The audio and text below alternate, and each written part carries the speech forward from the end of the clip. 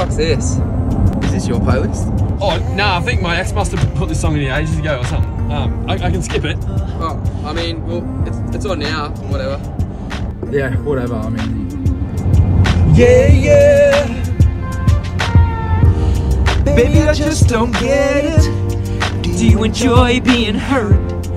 I know you smell the perfume makeup on your shirt. If I was your man, baby, you never worry about